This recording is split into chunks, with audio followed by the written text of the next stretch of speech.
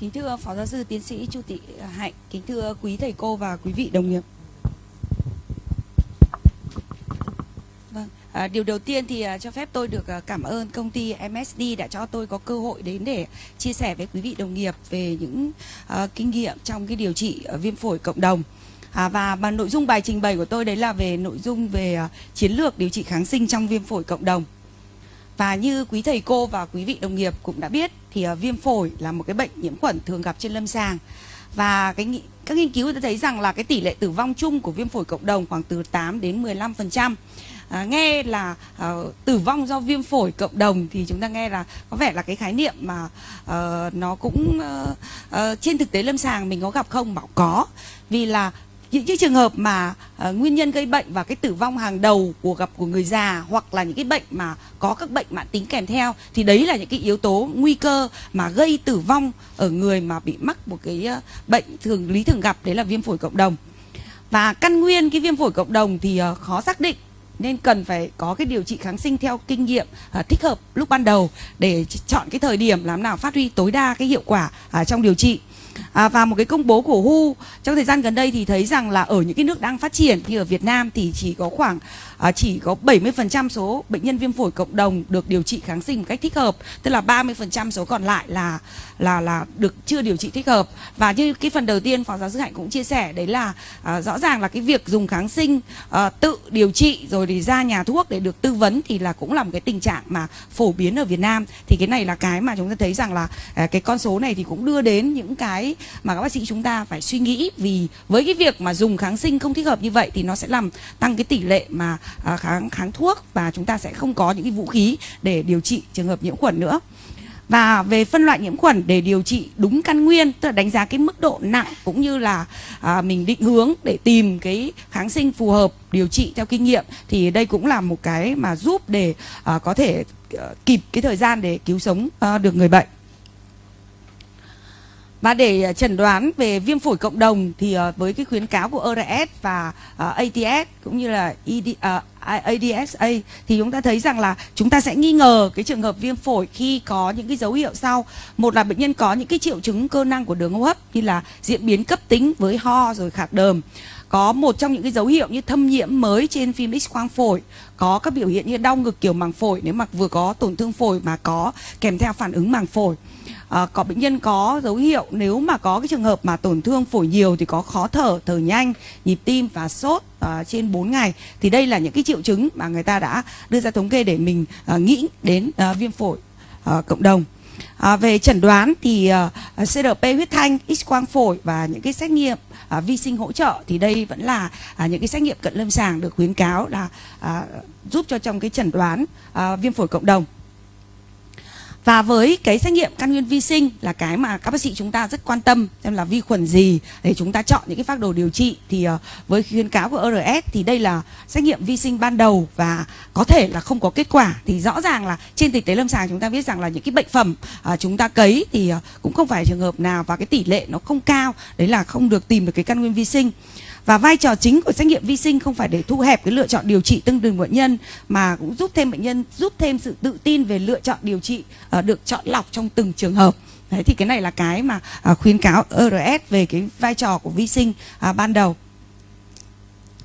và à, với cái khuyến cáo uh, khuyến cáo của hội lồng ngực Anh thì ta thấy rằng là ở trong không phải là được uh, khuyến cáo thường quy trong cái xét nghiệm vi sinh cho tất cả những cái bệnh nhân. Ví dụ những cái bệnh nhân viêm phổi cộng đồng nhẹ uh, ở ngoài cộng đồng khám ngoại trú thì người ta cũng không khuyến cáo là mình bắt buộc những trường hợp đấy phải làm uh, tìm căn nguyên vi sinh. Uh, không đáp ứng với cái điều trị ban đầu và gợi ý cái, cái vi sinh căn nguyên nghi ngờ và làm thay đổi cái điều trị chuẩn. Ví dụ như là những cái bệnh nhân mà hiện tại là đang có dịch cúm hoặc là à, dịch Legionella thì cái đấy là cái mà người ta à, đưa ra những cái khuyến cáo về xét nghiệm vi sinh à, X quang tim phổi thì uh, đây là một cái xét nghiệm cận lâm sàng và đối với cả những trường hợp mà có tổn thương ở phổi uh, có viêm ở nhiễm trùng ở phổi thì chúng ta là một trong những cái chỉ định. Thì X quang phổi có thể là có có tổn thương hình ảnh đông đặc ở thùy phổi uh, và tổn thương thì thường gặp trong những viêm phổi điển hình hoặc là những cái tổn thương mà ở hai bên tổn thương giảm thâm nhiễm nhiều hơn thì có thể gặp trong những cái vi, loại vi khuẩn không điển hình. Thì cái này là cái mà uh, những cái hình ảnh X quang trên lâm sàng uh, thực tế trên bệnh nhân tuy nhiên ở cái giai đoạn sớm thì x quang tim phổi nó cũng có thể không có tổn thương. À, và ờ, uh, các tài liệu người ta cũng thống kê rằng là liệu có cái sự liên quan giữa những cái tổn thương trên x quang phổi với những cái căn nguyên uh, gây bệnh. Ví dụ những cái tổn thương ở thùy phổi thì uh, có chẩn đoán có thể những căn nguyên vi sinh là phế cầu mình gặp đầu tiên có là Klebsiella, Haemophilus influenza hoặc là những cái trực khuẩn gram âm rồi những cái tổn thương mà uh, thâm nhiễm lốm đốm rời rạc thì có thể gặp vi khuẩn không điển hình hay là virus Legionella những tổn thương ở mô kẽ thì là có thể là do virus hoặc là uh, pneumocystis carini legionella tức là mình nhìn cái đấy để mình có thể định hướng. Tuy nhiên là còn rất nhiều những yếu tố về mặt lâm sàng những cái yếu tố nguy cơ à, để mình có thể nghĩ đến. Những cái tổn thương à, viêm sau đấy thì tạo hang có thể do kỵ khí Klebsiella phế cầu hoặc là những cái tổn thương nấm thì uh, với cái cái cái bệnh cảnh nấm thì hiện tại là nó cũng uh, cũng dần dần là nó có vẻ như là thường gặp và phổ biến và bác sĩ chúng ta phải chú ý đến nó để tìm uh, để, để để có thể tìm được rồi những cái trường hợp mà bệnh nhân viêm phổi mà có tràn dịch thì chúng ta có thể gặp trong phế cầu, uh, kỵ khí hoặc là Klebsiella. Tuy nhiên thì không có hình ảnh X-quang nào mà giúp chẩn đoán chắc chắn được uh, căn nguyên vi sinh. Thì đây là cái mà mình thấy rằng là nó có cái sự đối chiếu giữa cái tổn thương X-quang cũng như căn nguyên vi sinh nhưng mà nó không có chắc chắn được. À, tiếp đến là vai trò của CRP à, ờ, trong cái viêm phổi cộng đồng. À, thì à, chúng ta thấy rằng là CRP là một dấu ấn không đặc hiệu và thường tăng trong cả cái bệnh lý có viêm à, kèm theo hoặc là rồi à, tăng trong cái sơ vữa động mạch. Thế thì uh, uh, gần đây thì chúng ta thấy rằng là bảo hiểm bắt đầu xuất toán đúng không ạ? CRP tại sao làm và như thế nào? À, một cái điều đặt ra đấy là người ta nói rằng là cái CRP RH thì mình chỉ định trong những trường hợp như thế nào? Đấy là cái mà mình các bác sĩ mình cũng phải nắm rõ được À, để mình à, chỉ định trên lâm sàng. À, một cái nghiên cứu uh, trên 100 khoảng 170 bệnh nhân viêm phổi cộng đồng được công bố năm 2004 thì các cộng sự nhận thấy là CRP trên 100 mg trên lít thì có thể là một cái dấu ấn tốt để chỉ định dùng kháng sinh trong điều trị. Mình băn khoăn xem là cái này là virus có bội nhiễm hay không, có vi khuẩn hay không thì cái này là cái để quyết định trong điều trị kháng sinh. À, dấu ấn về procalcitonin thì chúng ta cũng đã nói rất nhiều đến rồi. Đây là một cái uh, dấu ấn ở trong huyết thanh để đánh giá cái tình trạng nhiễm khuẩn, giúp cho cái tiên lượng đánh giá những cái trường hợp nặng uh, rồi uh, điều trị có phát đồ thay đổi điều trị không, đặc biệt là trong những trường hợp mà uh, nặng mà nằm ICU uh, sốc nhiễm khuẩn. Thì uh, bro, uh, với các điểm qua các nghiên cứu thì thấy rằng là một nghiên cứu được công bố vào năm 2013 thì uh, procalcitonin thì có độ nhạy là 84% và độ đặc hiệu là 64% trong chẩn đoán nhiễm khuẩn.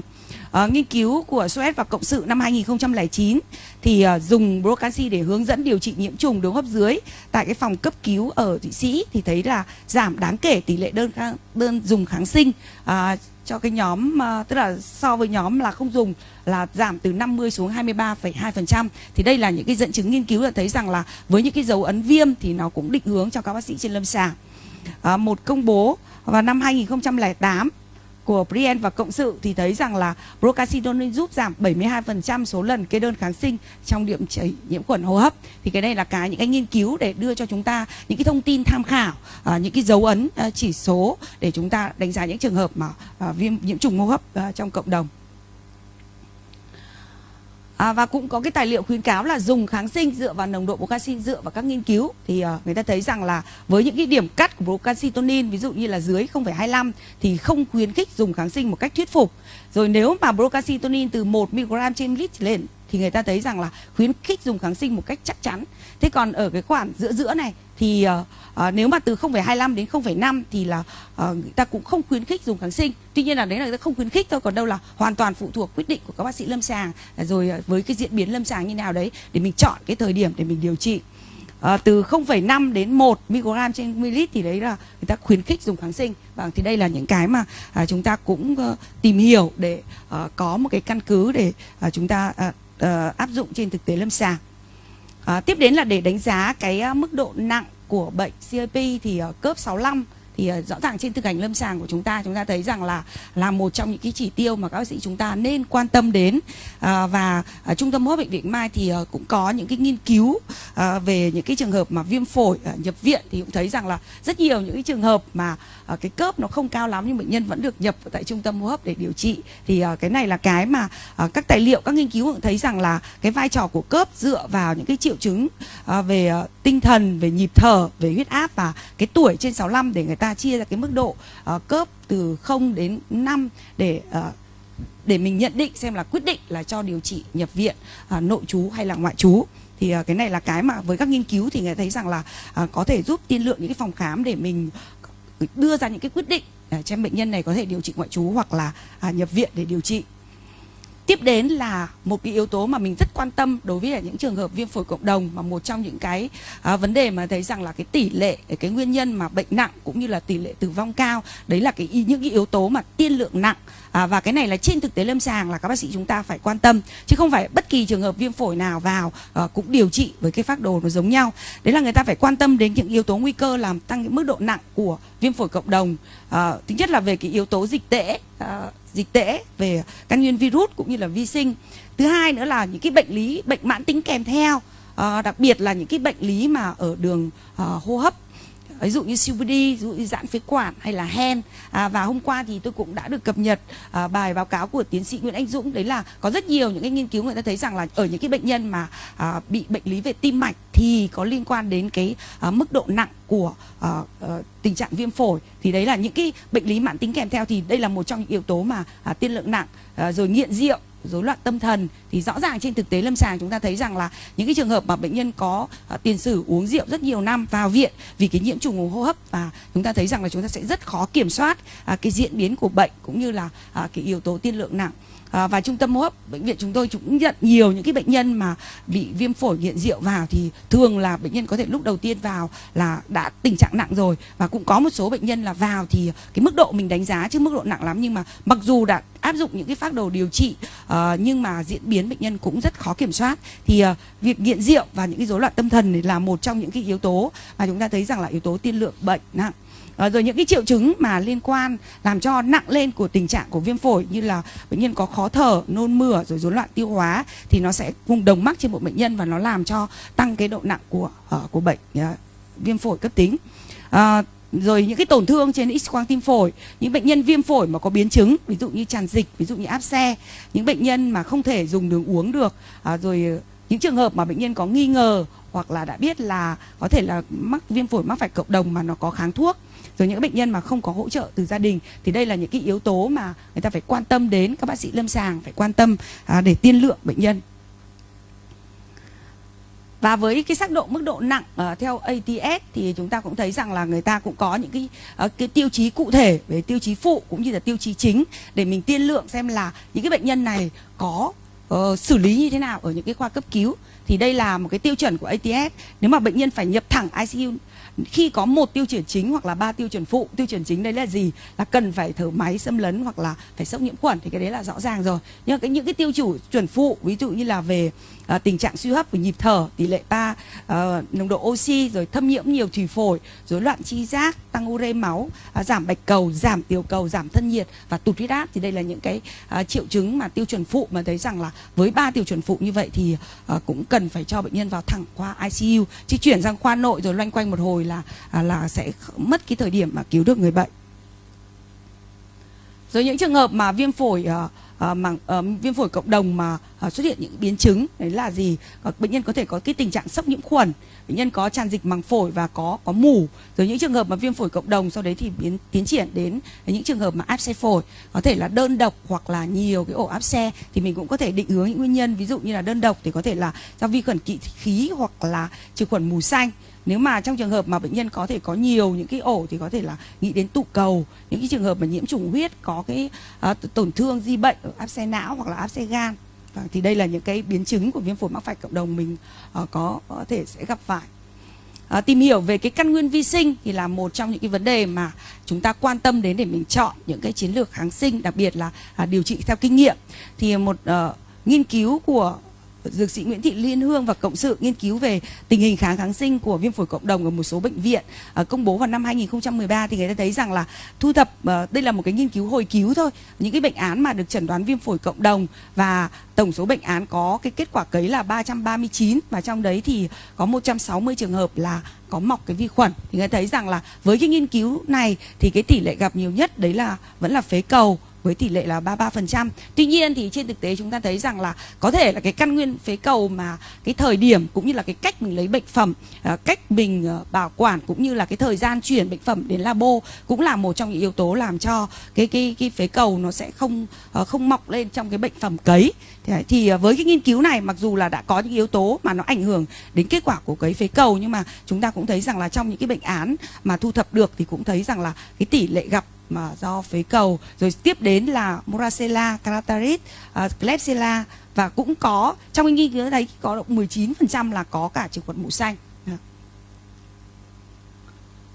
Và tìm hiểu về cái căn nguyên vi sinh viêm phổi cộng đồng ở châu Á thì chúng ta thấy rằng là à, cũng Ờ, thấy rằng là cái tỷ lệ phế cầu vẫn gặp với tỷ lệ nhiều nhất đấy là 30%. Sau đấy thì đến Klebsiella hemophilus influenza và đặc biệt đấy là gì? Vi khuẩn điển hình trong cái nghiên cứu được công bố thì cũng chiếm độ khoảng từ 20 đến 25%. À, và những cái nhiễm trùng phối hợp tức là không một cái trường hợp mà nhiễm trùng thì không phải là chỉ có nhiễm đơn độc một cái loại căn nguyên vi khuẩn mà nó có thể phối hợp nhiều cái căn nguyên vi sinh và đây cũng chính là những cái à, thông tin về căn nguyên vi sinh để mình có những cái căn cứ để mình à, điều trị à, cái kháng sinh theo kinh nghiệm. À, và đặc biệt nữa là gì? Cái, cái mối liên quan giữa cái căn nguyên à, vi sinh với cái mức độ nặng của viêm phổi cộng đồng. Thì cái điều này là cái mà chúng ta à, cũng là giúp để căn cứ để chúng ta phân loại cái mức độ nặng và chọn lựa cái kháng sinh à, để chúng ta hiểu những cái phác đồ những cái hướng dẫn à, điều trị. Đấy là những cái bệnh nhân mà có ở tình trạng mà mình đánh giá là mức độ nhẹ và chỉ cần điều trị ờ, ngoại trú và không có yếu tố nguy cơ đúng không? thì chúng ta thấy rằng là có những con vi khuẩn trông như là phế cầu, mycoplasma rồi Klebsiella pneumoniae, Haemophilus influenza. Thì ờ, cái tỷ lệ tử vong nó cũng thấp dưới 5% tử vong. Ở những bệnh nhân mà ngoại trú nhưng mà bắt đầu có những yếu tố nguy cơ uh, tiên lượng nặng thì uh, ngoài những cái căn nguyên vi sinh mà do uh, giống như là ở ngoại trú và không có yếu tố nguy cơ thì còn có thể gặp trực khuẩn gram âm và cũng tương tự như vậy thì với những cái bệnh nhân mà phải nhập viện với mức độ nặng nhận viện, nhưng mà chỉ nằm ở điều trị ở khoa nội thôi, thì vi khuẩn giống như bệnh nhân ngoại trú có yếu tố nguy cơ thì còn có thể thêm những cái trực khuẩn kỵ khí hoặc là Legionella và cái tỷ lệ tử vong thì nó cũng tăng lên từ 5 đến 25% và cuối cùng là những cái bệnh nhân mà à, mức độ nặng mà phải nhập vào ICU điều trị thì, à, thì à, chúng ta thấy rằng là thêm cả tụ cầu và và trực khuẩn mù xanh. Thì cái này là cái mà những cái kết quả nghiên cứu căn cứ để chúng ta à, đánh giá cái mức độ nặng để tiên lượng và điều trị à, đồ theo kháng sinh.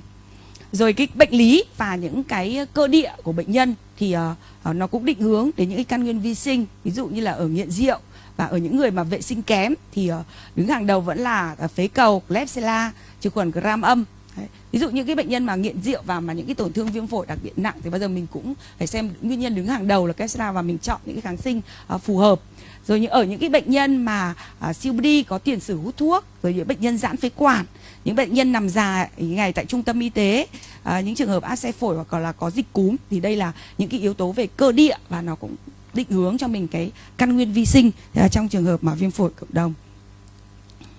À, tìm hiểu về cái gia tăng đề kháng kháng sinh là một trong những cái vấn đề mà chúng ta phải hết sức quan tâm. À, chúng ta hiểu để chúng ta bảo tại sao mình đã điều trị theo đúng phác đồ với cái à, điều trị kinh nghiệm với những cái kháng sinh đủ rộng như vậy rồi mà tại sao bệnh nhân của chúng ta à, vẫn còn gặp rất nhiều khó khăn và không đỡ. Đấy thì ta thấy rằng là có những nghiên cứu được công bố thì thấy rằng là 40 đến 50% cái phế cầu được phân lập là có đề kháng với methicillin đúng không ạ? Rồi uh, tỷ lệ mà kháng của phế cầu với macrolide nó ngày càng gia tăng. Và người ta cũng thấy rằng là 98% hemophilus trong một nghiên cứu thì thấy là tìm ra cái cơ chế mà đẩy ờ, macrolide tức là kháng sinh vào thì nó bị bị đẩy ra bị trơ. Và hiện tại thì uh, với các nghiên cứu hiện tại uh, thì chúng ta thấy rằng là cái việc kháng của uh, phế cầu với kinolon thì có vẻ như là cái tỷ lệ lưu hành còn thấp. Uh, điểm qua một số cái nghiên cứu uh, ở uh, về cái tình hình và phế cầu kháng penicillin. Thì uh, một cái nghiên cứu đa trung tâm đa quốc gia ở tại 11 nước ở châu Á và trong đấy có Việt Nam thì chúng tìm trên uh, 689 chủng uh, vi khẩu vi khuẩn ở 11 nước châu Á. Thì uh, ở Việt Nam chúng ta cái tỷ lệ phế cầu kháng uh, penicillin là cao cao nhất trong cái nhóm nhóm này. Và uh,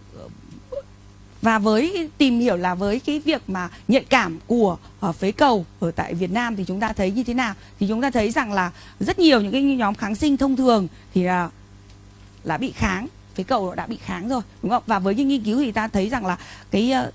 còn có kinolon có vẻ như là ít kháng rồi Ờ, uh, ôm măng ôm măng tanh thì cái phần mà ờ, kháng cũng nhiều và đặc biệt là là là và dạng trung gian. Đấy, thì cái này là với những cái kết quả mặc dù là không có nhiều những cái căn cứ về vi sinh nhưng chúng ta cũng thấy là khó khăn trong cái à, điều trị về viêm phổi. Rồi hemophilus influenza thì chúng ta cũng thấy rằng là với cái tình trạng à, đã kháng kháng sinh với rất nhiều nhóm. À, với như vậy thì cái nguyên tắc điều trị kháng sinh trong viêm phổi cộng đồng thì à, chúng ta phải điều trị theo kinh nghiệm. À, và cái điều đầu tiên các bác sĩ chúng ta đều hiểu đấy là gì? Chúng ta phải hiểu biết về cái vi khuẩn và tình hình đề kháng kháng sinh ở tại địa phương. Nhưng mà cái này đối với chúng ta thì chúng ta thấy là một cái bài toán mà nó vô cùng nan giải. À, vì cái việc mà chúng ta tìm được cái căn nguyên vi sinh trong cái à, cái cái nhóm bệnh nhân của chúng ta nó cũng rất là khó khăn à, từ nhiều phía rồi ờ, các yếu tố nguy cơ nhiễm các tác nhân đặc biệt đúng không? về mặt cơ địa rồi à, những cái trường hợp mà à, về bệnh nền rồi những cái yếu tố tác nhân rồi về yếu tố dịch tễ là chúng ta phải quan tâm à, đặc biệt nữa là xác định cái mức độ nặng ở trên lâm sàng nó cũng giúp để định hướng để chọn cái phác đồ kháng sinh à, các bệnh lý đi kèm uh, các hướng dẫn uh, điều uh, điều trị trong và ngoài nước. Thì uh, và đặc biệt đấy là uh, quan tâm đến vấn đề độc lộc học và động dược học của thuốc. Uh, thì cái điều này là trong gần đây nhất thì các uh, dược sĩ đã giúp các bác sĩ chúng ta hiểu rất nhiều về vấn đề là chúng ta phải tìm hiểu về hiểu biết về dược động học dược độc học để chúng ta có cái việc mà chọn phác đồ thuốc và đặc biệt là dùng liều thuốc bao nhiêu và liều như thế nào là các bác sĩ lâm sàng chúng ta phải hết sức quan tâm và cuối cùng đấy là điều trị uh, theo kháng sinh đồ nếu mà trong trường hợp mà bệnh nhân tìm thấy được cái căn nguyên vi sinh. À, điểm qua về những cái yếu tố nguy cơ của cái phế, phế cầu mà kháng beta lactam thì các nghiên cứu đã thấy rằng là cái yếu tố nguy cơ đấy là tuổi trên 65 và bệnh nhân đã sử dụng cái nhóm beta lactam trong vòng 3 tháng trước có bệnh đồng mắc và phơi nhiễm ở trường học. Thì à, đây là những cái yếu tố mà à, có những cái thông tin người ta đưa đến để mình có thể là lựa chọn để chọn cái phác đồ. Rồi trực khuẩn mù xanh chứ còn màu xanh là một cái nguyên nhân mà chúng ta thấy rằng là cái tỷ lệ cũng gặp cũng không phải là hiếm ở trong viêm phổi cộng đồng. Thì chúng ta có thể gặp trong những trường hợp mà bệnh nhân có suy giảm miễn dịch bệnh nhân dùng ờ, kháng sinh trước đó. À, và ở đây người ta cũng đưa con số lại đấy là bốn đợt kháng sinh trong vòng 12 tháng trước. Đặc biệt là ở những cái bệnh nhân mà có à, các bệnh lý ở đường hô hấp mà à, mãn tính mà chúng ta bệnh nhân những cái đợt cấp mà chúng ta không kiểm soát tốt. Thì cái việc mà à, bệnh nhân nhiễm trực khuẩn mũ xanh à, là cái tỷ lệ là người ta thấy là có nguy cơ à, và cái việc đấy nó sẽ giúp cho chúng ta chọn lựa cái kháng sinh à, theo kinh nghiệm khi bệnh nhân vào viện. Ví dụ bệnh nhân mà à, bị COPD bị giãn phế quản bệnh nhân thường xuyên phải điều trị kháng sinh thì chúng ta phải chọn cái kháng sinh đầu tay như thế nào. À, và chúng tôi ở trung tâm chúng tôi thì luôn luôn bị khoa dược hỏi là tại sao bệnh nhân nào vào cũng dùng ceftazidime Septazidim thì ờ, vì là những cái bệnh nhân uh, siêu đi, bệnh nhân giãn phế quản thì hướng tới là trừ khuẩn mù xanh cho nên là cái kháng sinh rồi bệnh nhân được điều trị rất nhiều ở tuyến dưới rồi. Cho nên là khi đến chỗ chúng tôi thì thường là ở mức độ nặng. Cho nên là cái đấy là cái mà ờ, các nhà lâm sàng phải quyết định là tại sao mình lại dùng cái nhóm kháng sinh như vậy. Ở những bệnh nhân mà tiền sử nhập viện gần đây phải đặt nội khí quản hoặc là những cái bệnh nhân mà ăn qua ống thông dạ dày thì đây là những cái trường hợp mà có yếu tố nguy cơ nhiễm trực khuẩn mù xanh và à, đặc biệt nữa là với những cái trường hợp mà à, mình phải chọn lựa cái kháng sinh à, theo kinh nghiệm nhà để phổ rộng à, để có thể là giúp à, cho bệnh nhân kiểm soát được à, các bệnh lý tốt thì những cái kháng sinh phổ rộng thì gồm có nhóm beta lactam những cái cephalosporin à, kinolone à, hướng hô hấp rồi à, carbapenem À, và đặc biệt là trong cái kháng sinh phổ rộng thì những cái, uh, cái nhóm kháng sinh mà nó uh, cũng phủ được trực khuẩn gram âm thì chúng ta cũng phải quan tâm. Ờ, để mình nắm được để mình thấy rằng là à trong những trường hợp nhà mà chúng ta phải dùng những cái kháng sinh để có kinh nghiệm để có thể phủ được nhiễm trùng. À, và tôi xin điểm qua một vài những cái guideline à, hướng dẫn trong cái ờ, trên thực hành lâm sàng. Đấy là về ờ, đối với cả à, theo ATS thì chúng ta thấy rằng là đối với những bệnh nhân mà à, mình đánh giá là cái viêm phổi cộng đồng này mình chỉ điều trị ngoại trú thôi đúng không ạ? Thì à, với những tiền từ khỏe mạnh và không dùng kháng sinh 3 3 tháng trước thì chúng ta à, dùng cái nhóm Macolit hoặc là doxycycline nhưng mà ở trên thực tế ở Việt Nam chúng ta thì chúng ta sử dụng cái nhóm này rất là ít. À, những cái bệnh nhân mà có yếu tố nguy cơ hoặc là có sử dụng ba kháng sinh trước ví dụ như là về tuổi rồi những cái bệnh mãn tính và điều trị ngoại trú à, thì lúc đấy chúng ta có thể chọn kinolone à, hướng hô hấp hoặc là nhóm beta lactam mà phải phối hợp với macolit rồi ở những cái trường hợp mà bệnh nhân à, ở những cái địa phương mà người ta khuyến cáo là thấy có cái tỷ lệ nhiễm à, phế cầu mà nó kháng macrolide rồi thì lúc này thì là cái kháng sinh mình lựa chọn à, cũng phải là dùng cái kinolon đường hô hấp. Rồi à, cũng có những cái phác đồ mà người ta hướng dẫn đối với cả điều trị nội trú à, chia ra là nằm ở tại khoa nội rồi nằm ở tại khoa à, điều trị tích cực với cái đánh giá mức độ nặng. Thì à, nằm ở khoa nội ta có thể vẫn dùng phối hợp là kinolon hướng hô hấp và nhóm beta lactam và maolit à, thì với những nằm ở khoa nội và trên thực tế lâm sàng thì chúng ta sẽ chọn à, với cái mức độ nặng để chọn cái phác đồ điều trị và thường là dùng à, cái đường tiêm tĩnh mạch. Ở khoa điều trị tích cực thì chúng ta cũng phân loại chúng ta sẽ dùng nhóm à, uh, beta lactam và có phối hợp uh, những cái thành phần để nó ức chế uh, diệt những cái vi khuẩn mà tiết ra những cái men beta lactamase uh, hoặc là nhóm carbapenem uh, phối hợp với uh, azithromycin hoặc quinolone đường hô hấp. Rồi những trường hợp mà viêm phổi cộng đồng nhập viện nhưng mà không phải nằm ICU thì uh, cái kháng sinh mà uh, beta lactam có được ưu tiên lựa chọn uh, kinolon ở hô hấp. Nhưng mà ectapenem thì là một cái nhóm carbapenem mà được khuyến cáo được điều trị viêm phổi mắc phải cộng đồng trên những bệnh nhân mà có nguy cơ nhiễm vi khuẩn gram âm uh, mà tiết ra cái uh, men beta lactam mà phổ rộng. Thì cái này sinh ESBL thì uh, và đặc biệt nữa là gì? Khi mà chúng ta nhớ là chúng ta chọn ectapenem thì là trong những đối tượng nguy cơ mà chúng ta nghĩ là không nhiễm trực khuẩn màu xanh còn nhiễm trực khuẩn màu xanh thì chúng ta lại không chọn. Ở cái nhóm mặc dù là nó phổ rộng và doxycycline thì vẫn được lựa chọn để thay thế macrolid trong điều trị nhiễm uh, Legionella. dưới những trường hợp mà viêm phổi ở cộng đồng phải nhập ICU uh, ờ, có yếu tố nguy cơ nhiễm trực khuẩn mùi xanh đúng không? thì chúng ta cũng đã có những cái phác đồ uh, để điều trị những cái kháng nhóm beta lactam mà có kháng được trực khuẩn mùi xanh phối hợp với uh, kinolon hô hấp uh, hoặc là nhóm à, aminoglycosid và điểm qua những cái ờ, cái, cái guideline của ORS ờ, cũng như là gần đây ờ, gần đây nhất đấy là về khuyến cáo của hội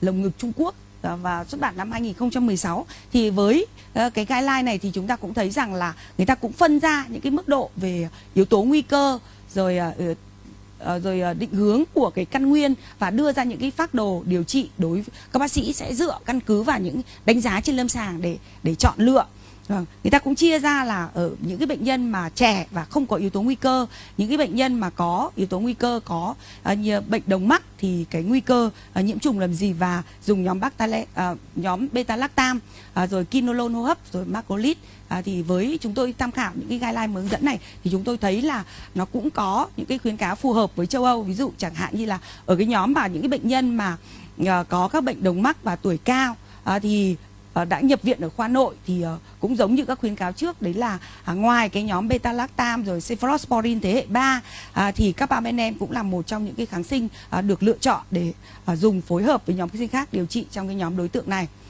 Vâng, và đối với cả những trường hợp mà nhập viện ICU thì chúng ta thấy rằng là đối với trường hợp mà bệnh nhân không có cái nhóm trực khuẩn mù xanh thì nhóm carbapenem, uh, nhóm ectapenem thì cũng là một trong những cái lựa chọn để được điều trị.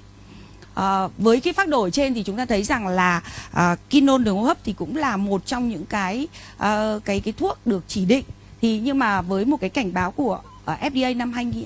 vào 20 tháng 12 năm 2018 thì ờ, cũng cảnh báo với những trường hợp mà ờ, làm ờ, khi mà dùng kinolon thì làm gia tăng cái nguy cơ bị vỡ hoặc rách động mạch chủ khi sử dụng kháng sinh kinolon trên số một số nhóm những cái bệnh nhân mà uh, có những cái bệnh lý về uh, giải phẫu về đường uh, về mạch máu. Ví dụ như là những cái bệnh nhân mà phình động mạch chủ uh, sơ vữa mạch máu ngoại biên một số những cái bệnh nhân mà có cái ờ, bệnh di truyền uh, về cấu trúc của cái thành mạch ví dụ như mắc phăng hoặc là uh, hội chứng Ehlers-Danlos thì uh, ở những cái bệnh nhân cao tuổi. Thì ở những cái bệnh nhân này thì với các nghiên cứu thì thấy rằng là nó có nguy cơ làm vỡ hoặc rách động mạch chủ uh, khi mà dùng kinolon thì đây là những cái thông tin mà chúng ta cũng có thể cập nhật uh, để uh, trên thực hành lâm sàng chúng ta phải uh, lưu ý trong những trường hợp mà uh, chúng ta phải chỉ định. À, rồi à, viêm phổi à, viêm phổi cộng đồng nặng thì à, cũng có những cái phác đồ riêng biệt cho những cái căn nguyên cụ thể như là do tụ cầu à, do subasi rồi cho à, cho simonat Simolay thì chúng ta cũng có những cái phác đồ cụ thể trong những trường hợp mà à, viêm phổi cộng đồng. À, về thời gian điều trị thì uh, tùy thuộc vào cái căn nguyên vi sinh rồi những cái đáp ứng lâm sàng thì uh, với những cái guideline trên thế giới người ta cũng thấy rằng là cái căn nguyên điều trị nó cũng khác với uh, với uh, với từng cái loại vi khuẩn. Uh, từ 5 đến uh, 14 ngày rồi có thể trên 14 ngày trong một số những cái trường hợp. Ví dụ chẳng hạn như là bị uh, tụ cầu hoặc là những cái vi khuẩn không điển hình thì 14 ngày. Còn những cái vi khuẩn uh, thông thường hoặc là những cái căn nguyên vi sinh mà không có bằng chứng thì uh, cũng từ 7 đến 10 ngày. Thì uh, những cái này là trên thực hành lâm sàng chúng ta cũng đã uh, thường xuyên rồi. Và trên đây là toàn bộ cái phần mà tôi uh, chia sẻ về uh, cái điều trị viêm phổi cộng đồng thì uh, tôi có một số kết luận cho bài trình bày của mình. Một là cái kháng sinh kinh nghiệm khởi đầu thì thích hợp uh, trong điều trị kinh nghiệm và có tầm quan trọng đặc biệt trong cái thời kỳ mà gia tăng đề kháng kháng sinh. Tức là mình chọn lựa kháng sinh như thế nào uh, và cái căn cứ vào đâu mà mình chọn cái phác đồ như vậy. À, và cần xác định các yếu tố nguy cơ nhiễm khuẩn đa kháng khi điều trị à, kinh nghiệm nhiễm khuẩn căn cứ vào cái việc mà phân tầng bệnh nhân. Chứ không phải bất kỳ một bệnh nhân nào mình cũng vào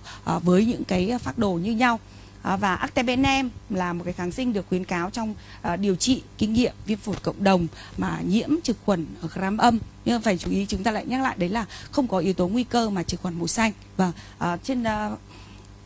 về phòng bệnh của viêm phổi mắc phải cộng đồng thì uh, chúng ta cũng tôi cũng chỉ xin nhắc lại mấy ý đấy là uh, đối với cả những cái bệnh nhân mà uh, bị viêm phổi thì uh, đặc biệt là những cái trường hợp mà bệnh nhân bị uh, bệnh mãn tính thì uh, các bác sĩ chúng ta cũng phải hết sức lưu ý xem là cái phòng bệnh cho người ta tư vấn đối với trường hợp như nào như là bỏ thuốc nâng cao vắc, uh, sức khỏe rồi uh, tiêm vaccine và đặc biệt là ở những trường hợp mà bệnh nhân có cái bệnh uh, mãn tính